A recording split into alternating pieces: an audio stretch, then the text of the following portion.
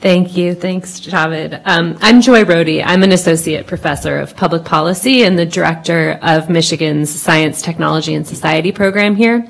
Um, I'm a historian, and my work focuses on the relationship between the sciences and national security.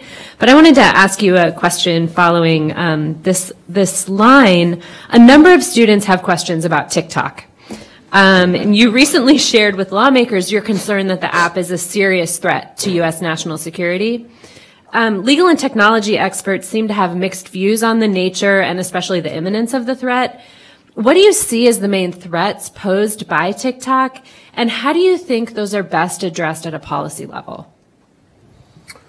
Well, uh, as I think I testified recently to Congress, I mean, we do, we, the FBI, do have um, national security concerns uh, about the app. Uh, its uh, parent company is controlled by the Chinese government, uh, and it gives them the potential to leverage the app in ways that I think should concern us. So what do I mean by that? Uh, you know, one, uh, it gives them the ability to control the recommendation algorithm, uh, which allows them to manipulate content and if they want to, to use it for you know influence operations which are a lot more uh, worrisome in the hands of the Chinese Communist Party than whether or not you're steering somebody, you know, as an influencer to one product or another.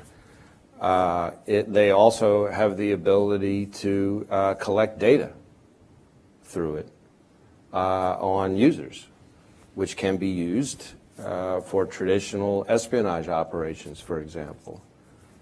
They also have the ability uh, on it to get access. Uh, they have essentially access through the software to devices. So you're talking about millions of devices, and that gives them the ability to engage in different kinds of malicious cyber activity through that. Um, and so all of these things are in the hands of, of a government that doesn't share our values uh, and that uh, has a mission that's very much at odds with with what's in the best interest of the United States, that that, that should concern us. Um, as I mentioned before, the Chinese government uh, has shown a willingness to steal Americans' data on a scale that dwarfs any other. I mean, you look at the Equifax hack alone, uh, they stole the equivalent of half the population of the United States, you know, personal data.